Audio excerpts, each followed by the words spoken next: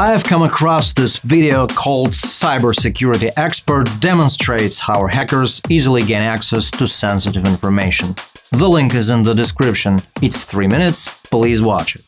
In that video, Kevin Mitnick, if you haven't heard of Mitnick, you really gotta google him up, shows how a Trojan or an exploit can be easily injected into your computer via the USB port. First of all, I can confirm that this is perfectly legit, because Mitnick is a real hacker and he does know his stuff. What he didn't demonstrate, however, is what's inside this magic cable, so I decided to make this short explanation video with some more technical detail on how this actually works. This is Ron Mattino. The guy in the video is pressing a button on the remote control, and then a window pops up in the lower left-hand part of the screen, and there's some text flashing shortly, and then the window disappears. So, what did actually happen there? Well, a regular Windows Run input box was open, and some text was typed into it. If you're on a Microsoft Windows computer, you can easily invoke that function by pressing Windows R. This was originally intended to launch programs, open files and folders, and access internet resources. For example, if you type in Notepad and press Enter, Notepad will open. So, if you're a hacker, you can type in the name of any program to be downloaded, installed, and executed on that computer. Bam! Infected. Wait, but the guy in the video did not type anything on the keyboard. You're right, he did not. What he did instead was plug in the so-called keyboard emulator, which is a tiny USB device that pretended to be a computer keyboard. This virtual keyboard typed the text he had pre-programmed on that computer, and that eventually led to the computer being infected. So, how does that work? Well, you know, you can plug an external keyboard to any USB-enabled device, and it's gonna work right away including your Android smartphone or tablet, by the way, you use a converter cable called OTG for that. So, if we take apart a USB keyboard, we can see a small CPU chip inside. That is the converter that translates your keystrokes to USB keyboard protocol codes and sends them over the USB interface to the computer.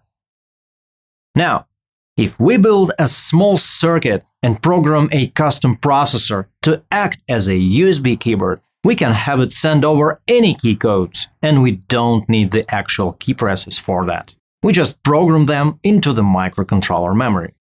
This functionality can be easily achieved by using, for example, the amateur Arduino board. Of course, I'm not gonna do anything malicious here. I'm just gonna pop up the run window and start Notepad. And the key sequence to do that is Windows R, Notepad, Enter.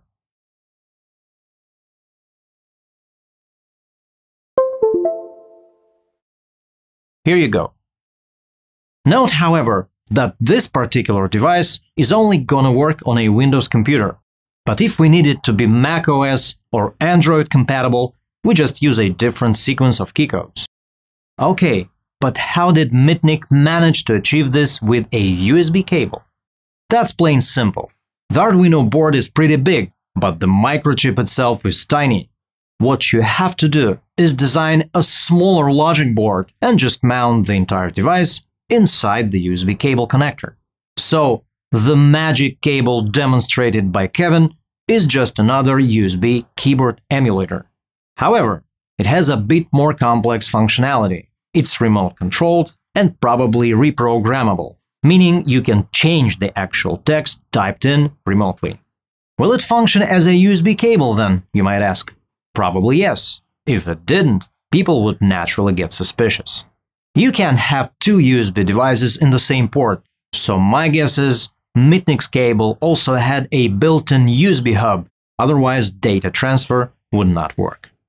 Truth is, a hacker can disguise any USB device as a USB cable. It could be anything a microphone, or a camera, or even a device that kills your computer by a high voltage discharge applied to the USB port it's plugged into, also activated remotely by means of a built in USB modem. Okay, How would you go about preventing this? First, all the cables mentioned are actually USB devices.